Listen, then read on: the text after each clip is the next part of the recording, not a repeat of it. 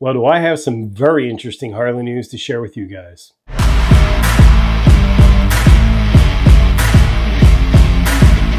So hey guys, welcome or welcome back to the channel.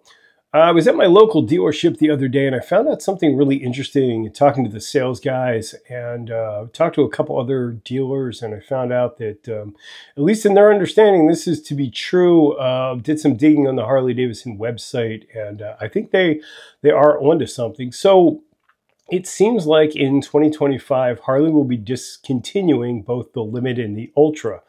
Now, as a owner of both motorcycles through the years, was I was a little taken back by that decision, but in thinking about it, I think that Harley's onto something that's going to make a lot more sense in the long run.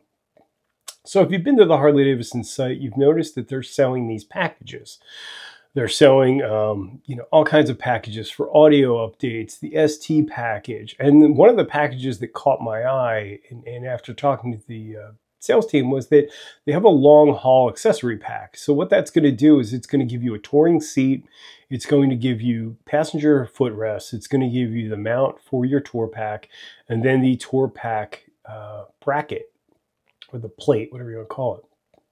Now, where I think this is interesting is this is taking a uh, page out of the playbook of Victory. Victory was notorious for having these packages. And I think it's a really cool idea because if you're a Harley deal, a Harley buyer, you buy a bike, you're really not sure, you know, uh, you're not hardcore into the scene. You can select the package and make the bike your own and, and take it from a standard uh, bike to a touring bike. Now, if you look at something like the Road Glide, I guess we're calling it the standard, it's the basic Harley's getting away from making a lot of special models, right? And, and it makes sense because they're streamlining the lineup. It makes sense from a financial standpoint. It makes sense from a customer standpoint because you you could buy, let's in the case of Road Glide, you could buy the Road Glide standard, you could buy the special, you could buy the limited. Now, where I think this muddies the waters a little bit is that even though you can buy the long haul package, it doesn't come with a tour pack. Now, in that, I think that's actually the genius move. Is that this way, if you want to ride, uh, you want to make it into a limited and you want more storage, you can buy a Razor tour pack, you can buy the, the medium tour pack, that I never remember the name, or you can buy a King tour pack. So if you're buying a bike and you're buying it, say, um, you're not really sure, you're buying your first big motorcycle, you can go ahead and buy the, the Road Glide it comes with RDRS, so you, you have a good touring platform to build on. Then you could buy a package later and turn it into a limited.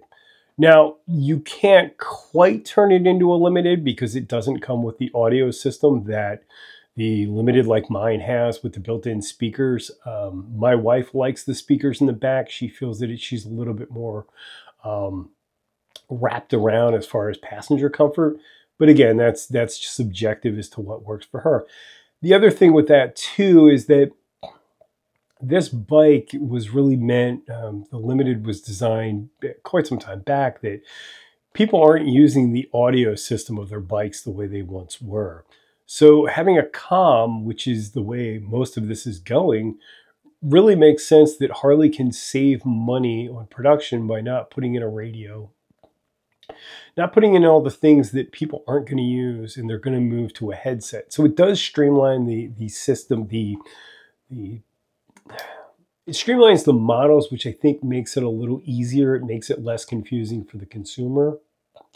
The downside of this is now you're forced to sort of buy an a la carte bike where you have to buy the bike, then you have to buy the, the kit, then you have to buy the, the tour pack. I mean, the tour pack's no joke if you if you don't go aftermarket, I think the Harley pack is about uh, a K. So you're spending a grand for that. You're spending you know another a grand and a half for the tour for the kit, if not more, depending on you know the market variations.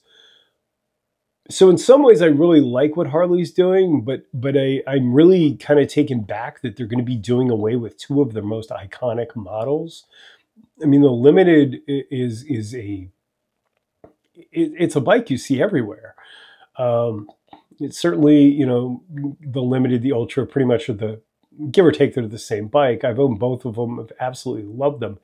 Now, in talking to the sales guys, they're saying that they're not selling these bikes. So these bikes aren't selling the way that they used to sell, which does sort of make sense because Harley's going all in in a younger market and they're definitely pivoting that way.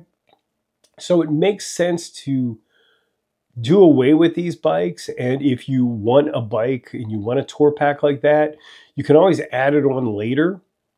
And now you have a chance of having that limited touring bike. The interesting thing that I thought too was if you buy that bike, say you buy that bike in your 30s, you're you're a single guy, you're doing your touring yourself. Now, if you want to ride a pa- add a passenger and you want to do more touring, you can add those accessories. So I think it does make the longevity of the bike longer.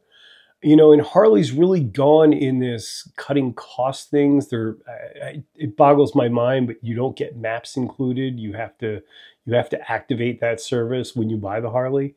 Um, so it makes sense from a from a business standpoint of cutting uh, cutting costs. But it really surprised me that we're going to be doing away with these two iconic Harley Davidson models. Um, like I said, I've talked to a bunch of dealerships. Those are the bikes that aren't selling. The the limited and the the ultras are not selling, and it does kind of make sense when you look at it. Is that if they're going to phase them out, this is why we didn't see an upgrade this year, because there's no point. They're not going to continue the bike. They are if you want to upgrade the bike, but in its its normal off the off the lot version of the limited, it's no longer going to exist. And I think, that, like I said, I think that's an interesting direction for Harley. They're showing that it's becoming a more modern brand. They're doing away with the the older models, the the models that were sort of marketed to the, an older generation of riders although they are classic models, they're becoming they're beginning to push to a more a modern classic and changing um, the bikes that they're really trying to market hard. And I think that comes with bringing diversity into Harley and into their lineup. To the point of diversity, I've seen more videos this week about everybody's upset because Harley's becoming a diversity brand and this, that, and everybody's quitting Harley. Can we stop? Can we just, for the love of God, can we stop? I don't know why, but every year during the homecoming event, people have a meltdown. It was the Bud Light cans, and everybody was selling their Harleys, which they didn't. Now it's the meltdown of, you know, politics and, and, and hiring, you know, different people. We got to stop this. We got to stop the drama of Harley riders. Ride your ride, enjoy your bike. Stop, stop trying to fight against change this is the lineup change. This is the way the world is. Really, all I had, I thought it was really interesting in talking to the dealers and, and kind of diving into it. Haven't done one of these talking heads in a while, so just kind of wanted to get together and uh, put a video, talk to you guys. Uh, weather in New Jersey's been absolute shit, so I haven't been riding much it's really killed any install. So I figured I'd just uh, kind of do this talking head, share the information with me or with you, and see what you guys thought. I'd really be curious of your opinion. Leave me a comment. Let me know what you think. Do you think it's a good move by Harley Davidson? Do you think it's a bad move? And um, would you buy a standard road glide, street glide, and then be okay with building the bike up, or would you much rather buy the bike off the lot the way you wanted it? It's an interesting point. I think it could be um, it could be a benefit both ways. But anyway, guys, that's all I had. Just wanted to touch base with you. Like I said, leave a comment. Check out my affiliate links in the description. And please remember, as always, you're not alone. Thanks for watching, guys.